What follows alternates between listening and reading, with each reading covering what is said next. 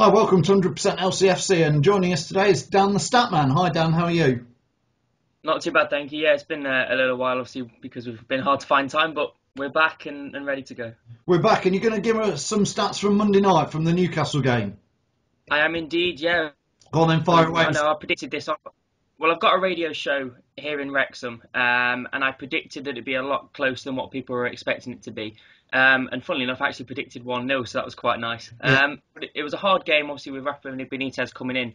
And going into that game, we'd never actually lost an opening game as a manager.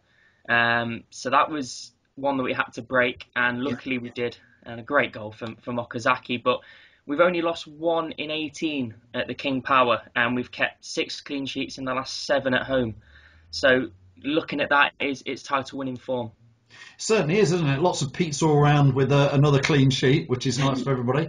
Um, it was, I mean, it did change the perspective of the game with Rafa Benitez joining just a couple of days before, and it's certainly, I think, without without that influence, that the Newcastle players looked like they were well up for it. So, Yeah, it was it was a tough, tough game. I think they played some very good football, and they had we had they had chances, but we were professional in the way we dealt with them. Um, and obviously Okazaki's goal was superb, but that was the only shot on target we had the whole game. So Was we were it? clinical. Yep, we were clinical. Um, and it's like one chance you need, and we take it, and, and we get the three points. But there's one player that I do want to point out, and that's N'Golo Kante.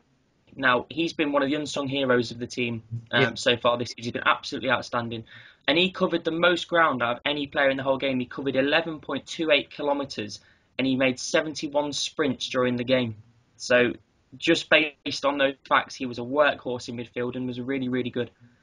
I mean, what what he does is he just nicks the ball away from players. He did it countless times on, on Monday. The guy behind me kept saying, "Get your ball, get your ball" from the from uh, the Newcastle thing, and Kante was he was just doing that every time. You know, I think Absolutely incredible. I think you say unsung hero. I, I agree with you on that, but I think there's lots of talk on lots of radio stations and lots of lots of media outlets around Europe about lots of big, big, big clubs, even the Real Madrids and Barcelona's having a good look at him. Yeah, it wouldn't surprise me. It's going to be hard to keep him for sure. Um, but obviously, with the factor of Champions League football that we get, he, he should stay, and I hope he does. So looking forward to the next game. That's Crystal Palace away on Saturday. Dan, have you got some key stats Yeah. there? I actually have. Um, at Crystal Palace, Crystal Palace have won 14 out of 30 games, and we've only beaten them seven times at Selhurst Park. Um, sort of looking at that, we lost 1 0 last time we went there. Um, and it's one of the, again, it's a bogey team. and I've said this several Yeah. times that our running is actually hard, harder than most teams people think because there are so many banana skin games that are coming in. These teams are fighting for their lives or mid table security. Um, they've got nothing to lose, whereas the pressure's on us. So coming into this game, it's not you know not great, but the confidence we've got at the minute, we should pick up three points there. And obviously, Alan Pardew's under a lot of pressure himself at Crystal Palace. Yeah, Palace have just made the uh, FA Cup semi-finals, haven't they? But in the league form, it's really not great, and at home, it's it's not good. I think I think Lord Palace have lost three or four home games on the trot at home, haven't they, Dan? Something like that. Yeah, they have indeed. They've not been too good at home. They're more of an away side. They've always been known as an as an away side. They love they play sort of like we do, and they love the counter-attacking style with the pace they've got going forward. Um, but they average 1.66 goals a game at Selhurst Park, and we only average 1.23 there. So there's likelihood that both teams will score in this game. It's going to be a very very tight game. Um, but I'd I'd be happy with a point. Um, but most Leicester fans will be wanting the three, considering where we are. But going to a place like Selhurst, I think a point would be a very, very good result. I think the running, uh, Dan's going to be interesting to see what we do. I've, I'm going to show you this. I've got a sheet which I don't know if people can see on on the pictures there.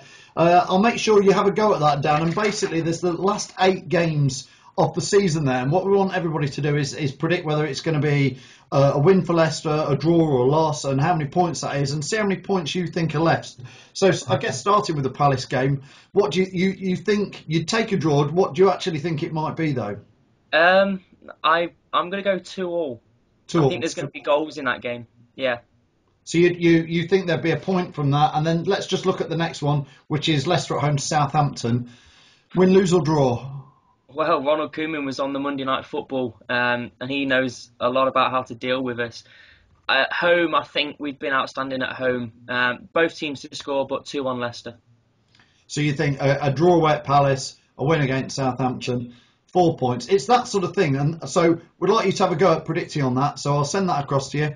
Yeah, we'll do. We're asking the fans to do it as well. So thanks, Dan, for joining us. Uh, we'll catch up with you after the Palace game. I'm a bit like you. I'd be quite happy with the draw. I I've got a feeling we could go and win it, but it's not going to be as easy as everybody thinks, is it? Going to Palace.